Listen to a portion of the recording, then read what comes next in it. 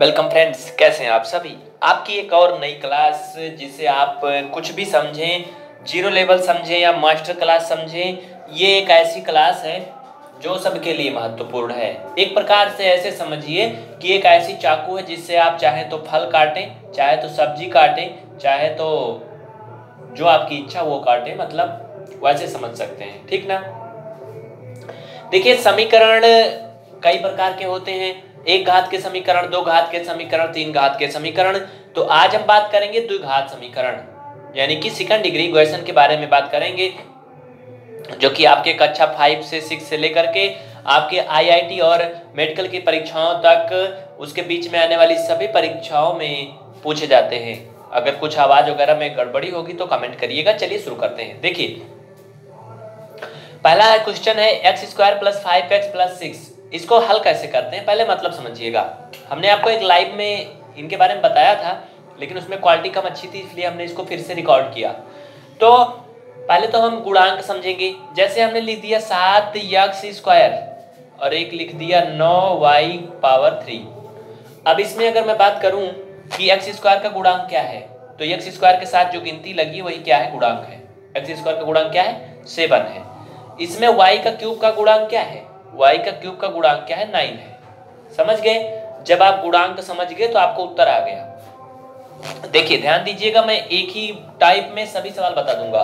बस, आवाज़ थोड़ा सा लग रहा है, गड़बड़ है तो इसको मैं सही कर देता हूँ। बिल्कुल हैरान नहीं होना है। ठीक है ना? सब कुछ क्लियर होगा। बगल में थोड़ा पूजा पाठ हो रहा है, इसलिए थोड़ा आवाज़ आ रही होगी। तो देखिए पहले तो गुणांक ज्ञात करेंगे किसका? एक्स स्क्वायर का। एक्स स्क्वायर का गुणांक क्या है? वन है। इसमें इसका गुणांक क्या है? फाइव है। और छह अकेले है, इसका गुणांक से कोई मतलब नहीं है। इतना क्लियर हो गया? दूसरे लाइन में हम एक नया इक्वेशन बनाएँगे। वो कैसे बनता है? ध्यान दीजिएगा। ये एक्स स्क्वायर के जो गुणांक है ना, इससे गुणा करेंगे लास्ट वाले में। हमेशा ऐसा करेंगे। तो एक का छह में गुणा करेंगे, क्या होगा? छह ही होगा तो आप इस छह को ऐसे लिख लेंगे। मतलब छह ही आया, बदला नहीं। अभी देखिए, उधर बदल जाएगा। और ये प्लस का प्लस ये फाइव एक्स वैसे उतर जाएगा। और ये प्लस एक्स स्क्वायर ऐसे उतर जाएगा। कुल मिलाकर के जो नया इक्वेशन बन रहा है, वो भी उसी के बराबर आ रहा, है ना? कोई नया नहीं बना। इसलिए हम उसी को हम करेंगे। देखिए, नया भी बनता है। अभी अगर उसमें बात करें तो बनेगा, देखिएगा। तो अब क्या करेंगे? हमें कोई दो ऐसी गिनती लेना है, जिसको जोड़ दे तो पाँच हो जाए गुड़ा करें तो छह हो जाए। अब आप जल्दी से बताइए, कोई दो अंक जिसको जोड़े तो पाँच हो जाए जैसे चार में एक जोड़ा तो क्या हो गया? पाँच हो गया। लेकिन चार का अगर एक में गुड़ा किया तो क्या हुआ? चार हुआ। नहीं आ रहा। गुड़ा करने पे छह आना चाहिए। अगर मैं जोड़ू तीन में दो तो पाँच हो जाएगा। तीन दो पाँच। और तीन का दो में गुड़ा करूँ तो छ हो जाएगा। यानी तीन और दो। तो आप इसे कैसे लिख सकते हैं? एक्स स्क्वायर प्लस पाँच की जगह पे आप लिख सकते हैं तीन धन दो। क्लियर हमने कोष्टक में कर लिया। केवल और केवल पाँच की जगह पे हमने इसको लिखा है। बाकी जो यक्स है, वो ऐसे पीछे लटका रहेगा, ये प्लस का प्लस सिक्स का सिक्स इतना क्लियर है? आप क्या करेंगे? यक्स का स्क्वायर प्लस इसका गुड़ा करेंगे बाहर से। ठीक? दोनों में बारी बारी एक्स का गुड़ा इसमें करेंगे तो ये तीन एक्स और बीच में धन। दो में करेंगे तो दो एक्स और प्लस सिक्स इतना क्लियर है? अब इसमें दोनों में कॉमन लेंगे, इसमें कॉमन लेंगे। इसमें भी यक्स है, इसमें भी यक्स है है ना?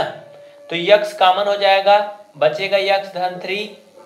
और अगर आप ध्यान दें तो इन दोनों में नहीं कॉमन यक्स क्योंकि इसमें यक्स है बट इसमें नहीं है। लेकिन देखिए, इसमें दो है, इसमें छ है। दोनों में दो कॉमन हो सकता है। कैसे? कैसे? देखिए छ को हम लिख सकते हैं, अगर कोष्ठक में लिखें तो तीन गुड़ा दो। लिख सकते हैं तीन गुड़ा दो छ को? तो भाई दो इसमें से निकाल लो, एक दो इसमें से निकाल लेते हैं। तो ये बीच में जो भी था प्लस ना, ये प्लस ही रहेगा। इसमें दो कामन ले लेंगे दोनों में से। तो इसमें यक्स बचेगा और इसमें क्या बचेगा? ये तीन बचेगा अकेले, है ना? क्लियर है ना? अब कोई कंफ्यूजन नहीं होनी चाहिए। जो दो बार आया है, उसको एक बार लिख लेते हैं। x प्लस थ्री और जो कॉमन हुआ है, उसको एक कोष्टक में बंद कर देते हैं। यानी x और ये प्लस टू एक उत्तर तो आपका ये हो गया। लेकिन अगर इसमें आपको मूल निकालना होता कि x के दो मूल कौन कौन से हैं तो आप इसको एक एक को बारी बारी ज़ीरो के बराबर कर देंगे तो यक्स का एक मूल आएगा माइनस तीन और एक आएगा माइनस दो। ये यक्स के दो मूल हो जाएँगे। अगर ये नहीं समझ में आया नीचे कैसे हुआ कमेंट करिएगा, आपको बता देंगे। क्लियर है ना? हाँ अब हम बात करते हैं जो पहला सवाल में आपने नहीं समझ पाया कि कैसे ये क्वेश्चन बदलता है कि नहीं बदलता है उसकी बात करते हैं दूसरे सवाल में। ध्यान दीजिएगा। इसी तरह का एक सवाल और कर लेते हैं फिर हम नया सवाल करेंगे। ध्यान दीजिएगा पहला के बाद दूसरा सवाल अभी दिखाएँगे। आ, ये मान लेते हैं दूसरा ही है वो तीसरा सवाल बाद में होगा। इसको कैसे करेंगे? बिल्कुल वैसे का वैसे। देखिए इसमें एक्स का गुणांक क्या है? एक्स स्क्वायर का। वन है ना? वन से इसमें मल्टीपल करेंगे तो पैंतीस ही आएगा। अब हमें क्या करना है? ये वाला पद जो है क्या करने पे आएगा? ये गुड़ा करने पे आना चाहिए और जो इसका गुणांक है निटोयल, ये जोड़ने पर आना चाहिए। ठीक है? मतलब दो ऐसी गिनती बताइए जिसको गुड़ा करें तो पैंतीस हो जाए और जोड़ दें तो बारह हो जाए। जल्दी से बताइए। गुड़ा कर दें तो पैंतीस आ जाए और जोड़ दें तो क्या हो जाए? बारह हो जाए। देखिए गुड़ा करने पैंतीस किसको किसको आएगा? आ, जैसे अगर पैंतीस की बात करें तो वही एक जगह आएगा भाई। कब? सात बचे पैंतीस और सात पाँच बारह। एक हो जाएगा सात एक हो जाएगा पाँच। तो मिल गया ना जो हम ढूंढ रहे थे? इसमें आसानी से मिल गया नहीं तो हर जगह आसानी से नहीं मिलता है। देखिएगा जहाँ आसानी से नहीं मिलता वहाँ पे कैसे करते हैं। आ, ये हो गया बारह एक्स यानी कि इसे हम लिख देंगे बारह की जगह पर सात प्लस पाँच। किसकी जगह पे? बारह की जगह पे सात प्लस पाँच। ये यक्स था, ये ऐसे यक्स रहेगा। ये धन का धन, ये पैंतीस का पैंतीस। इतना क्लियर अब अंदर में गुड़ा करेंगे एक्स का पहले सात में, फिर एक्स का गुड़ा पाँच में।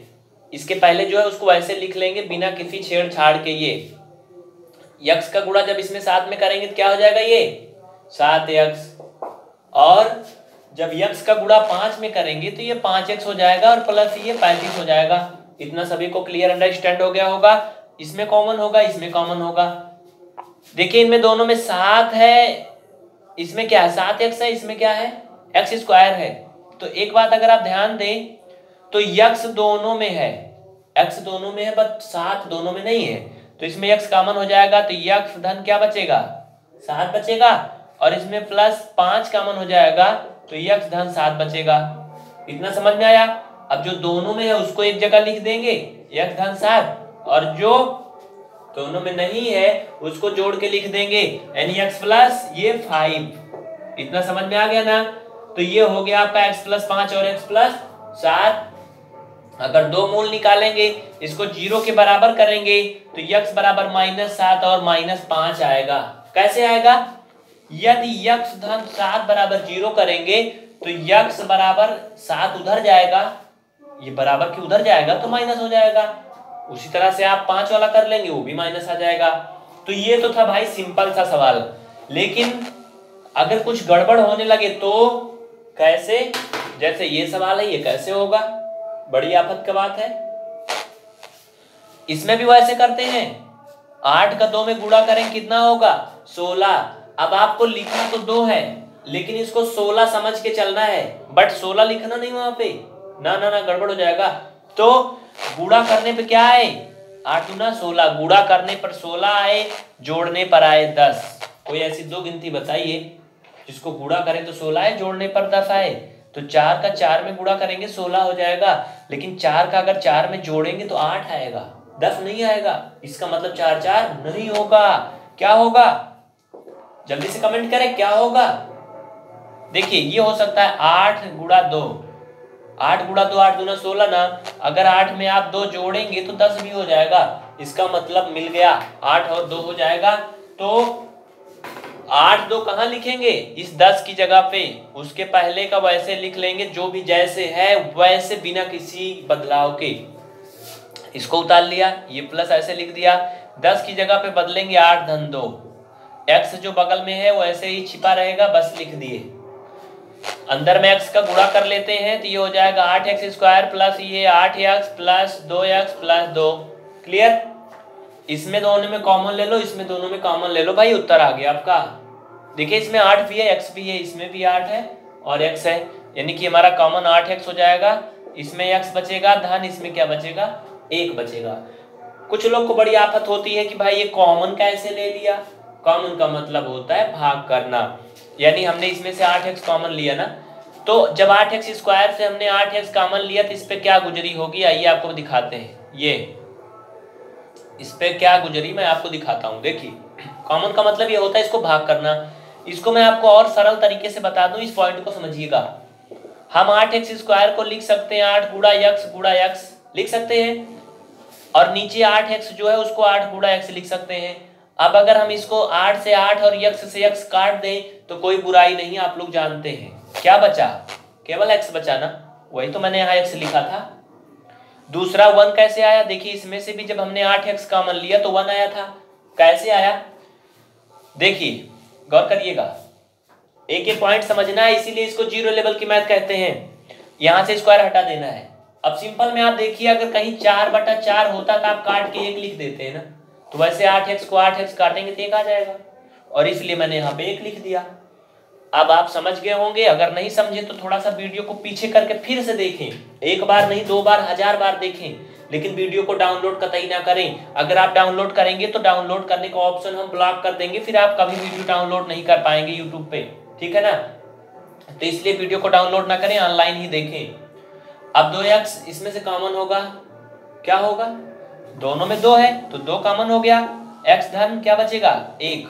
इसमें हम उम्मीद करते हैं आपको समझाना नहीं, आप समझ गए। अब जो दोनों में कॉमन है एक्स प्लस वन और एक्स प्लस वन जो दो बार आया है, उसको एक जगह लिख देते हैं भाई, सभी का नंबर आना चाहिए। फिर आठ एक्स और ये धन दो है ना, इनको एक में मिला देते हैं, इनका मिलन करा देते हैं तो ये आठ एक्स धन दो हो जाते हैं। इस तरह से ये आपका दो आ गया गुणनखंड करने पे, अगर मूल निकालेंगे तो यदि क्या होगा? मैंने यदि लिखा है यक्स धन एक बराबर ज़ीरो तो यक्स का मान माइनस एक आएगा। और यदि आठ यक्स धन दो बराबर ज़ीरो करेंगे तो यक्स का मान माइनस दो बटा आठ कटेगा, माइनस एक बटा चार आएगा। माइनस एक बटा चार। अगर दो मूल निकालने को कहेगा तो ये आपके माइनस वन और माइनस एक बटा चार दो मूल होंगे। अगर केवल गुणनखंड करने को कहा जाएगा समीकरण का तो ये आपका गुणनखंड का सही उत्तर हो गया दोनों। समझ गए ना? इसका मतलब क्या है? इसका दोनों का जब गुणा करेंगे तो ये आ जाएगा। समझ गए ना? जैसे गुणनखंड में आप, मैं आपको बता दूँ अच्छी तरीके से। इसको आप लोग स्क्रीनशॉट ले लीजिए जल्दी से। हो गया? वीडियो को पीछे करके फिर से देख लीजिएगा जिन लोगों का छूट गया, जो लोग नहीं कर पाए। ठीक है ना? बिल्कुल हैरान नहीं होना है, हो जाएगा। देखिए गुणनखंड का मतलब क्या होता है। जैसे हमने लिखा आठ आठ को हम लिख सकते हैं क्या? आ, दो गुड़ा दो गुड़ा दो। दो दुना चार दुना आठ होता है ना? उसी तरह से जो ये है ना भाई ये है जो ना बाबू इसका गुणनखंड कर रहे हैं तो x प्लस तीन और x प्लस दो आया है। क्यों? क्योंकि जब x प्लस तीन और x प्लस दो का हम गुड़ा करेंगे तो फिर वही ऊपर वाला आ जाएगा ये पाँच एक्स प्लस छ। अगर आप कहेंगे तो हम इसको प्रूव करके दिखा देंगे। इन दोनों का गुड़ा करने पे आ जाएगा। कैसे? जैसे इनको सबको गुड़ा करने पे ये आ जाता है। उम्मीद करते हैं आप समझ गए होंगे।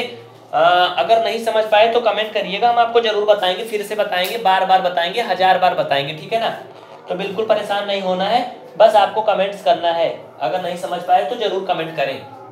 देखिए आपने तीन सवाल समझ लिए ना? तो आज के लिए बस इतना ही। उम्मीद करते हैं, अगर आप समझ गए तो इस वीडियो को बिना लाइक किए नहीं जाइएगा। और मित्रों चलते चलते हमारी एक रिक्वेस्ट रहेगी, इस वीडियो को लेकर जाइएगा। मतलब इसको अपने दोस्तों में शेयर करिएगा। आज से आपका जो ज्वाइनिंग शुल्क था, बिल्कुल हटा लिया गया है। कोई भी ज्वाइनिंग शुल्क आपको नहीं देना है। बस आपको एक काम करना है। वीडियो को ज़्यादा से ज़्यादा अपने दोस्तों में शेयर करना है। गणित सिखाने की आपको संपूर्ण गारंटी वीडियो का डिस्क्रिप्शन चेक करिएगा। नया शेड्यूल अपडेट कर दिया गया है और आपकी हर एक क्लास उस शेड्यूल के अनुसार होगी। जिन मित्रों की क्लास शेड्यूल के अनुसार में जो चल रही है, उसमें नहीं आ रही है, उनको लग रहा कि हमारी ये क्लास होनी चाहिए और अलग से तो वो हमें कमेंट करेंगे, हम उनको बताएँगे। आप लोग व्हाट्सएप नंबर बिल्कुल ना लें, जो भी आपके मन में बातें हैं, उनको आप कमेंट करें। एक बात ध्यान दें अब से यानी कि 8 मार्च के पहले, यानी कि 7 मार्च से लगभग में आपके सबसे पहले YouTube के कमेंट का उत्तर दिया जाएगा। व्हाट्सएप का रिस्पांस जो है, बाद में दिया जाएगा। अवधेश सर को हमने बता दिया है, सबसे पहले अब वो यूट्यूब के कमेंट का जवाब देंगे बस। सबसे पहले यूट्यूब का कमेंट दूसरा नंबर पे ईमेल का जवाब तीसरा नंबर पर व्हाट्सअप तो अगर आप सब जवाब चाहते हैं जल्दी से तुरंत तो व्हाट्सअप नंबर पे ना मैसेज करिएगा, केवल यूट्यूब में कमेंट करिए। वीडियो को बार बार देखिए, समझिए। वहीं पे आपको सब कुछ बताया जाएगा। लिंक भी आपको कमेंट बॉक्स में कमेंट कर दी जाएगी। ठीक है ना? व्हाट्सअप अब चलता नहीं है। अगर दस बीस हज़ार लोगों के मैसेज आ जाते हैं तो दिन भर वो डिलीट ही करते रहते हैं। हैंग होता फ़ोन चलता नहीं। समझ रहे ना? तो आप लोग अब व्हाट्सएप पे मैसेज कतई नहीं करेंगे। लेकिन हाँ एक बात और बता दें, अगर आप पीडीएफ फ़ाइल वगैरह आप पाना चाहते हैं और भी जानकारी के लिए आप विज़िट कर सकते हैं आपकी अपनी ऑफिशियल वेबसाइट पीवीआर इस पर विज़िट करके आप अपने सारे मन के सुझावों को बोल सकते हैं, अपनी दिल की बातों को शेयर कर सकते हैं और पीडीएफ फ़ाइल टेक्स्ट फ़ाइल वगैरह प्राप्त कर सकते हैं। ठीक है ना? और और भी अन्य सब्जेक्ट के लिए, जैसे हिंदी अंग्रेज़ी, पर्यावरण, बाल विकास, मनोविज्ञान के लिए अन अकेडमी पर अवश्य फॉलो कर लें। डिस्क्रिप्शन में लिंक दी गई है। मैथ आसान है और पीबीआर स्टडी ग्रुप चैनल को अवश्य सब्सक्राइब कर लें। अगर आप कोई सुझाव शिकायत करना चाहते हैं या फिर आपको कमेंट करना नहीं आता है, तभी आप इस नंबर पे मैसेज करेंगे व्हाट्सएप पर या फिर फ़ोन कॉल करेंगे। अगर आपको कमेंट करना नहीं आता तब, लेकिन अगर आपको कमेंट करना आता है तो आप कमेंट करेंगे। जब तक ये लाइव चल रहा है, तब तक आप लोग कमेंट करें या ना करें, क्योंकि इसका जवाब अभी जल्दी से आपको नहीं मिल पाएगा। लेकिन जब ये लाइव जैसे खत्म हो जाएगा, वैसे आपको जवाब दिया जाएगा। ये प्रॉब्लम थोड़े दिन के लिए है, जल्दी ही ये दूर हो जाएगी। उसके बाद लाइव के समय भी आपको तुरंत रिस्पॉन्स दिया जाएगा। ठीक है ना? हमारा सिस्टम थोड़ा सा गड़बड़ चल रहा है। वो जल्दी सही हो जाएगा, फिर आपको लाइव का भी जवाब तुरंत मिलेगा। ठीक है ना? तो मित्रों, उम्मीद करते हैं आप सारी बातें हमारी समझ चुके होंगे। तो आज के लिए बस इतना ही। मैं राजकुमार यदुवंशी फिर से मिलूँगा आपसे एक नई क्लास में, एक नई उम्मीद के साथ। तब तक के लिए आप सभी को बहुत बहुत थैंक यू आपका अपना पीवीआर स्टडी शेयर करिए, सब्सक्राइब करिए, लाइक करिए, सब कुछ सहयोग करेंगे तो हम आपके साथ हैं।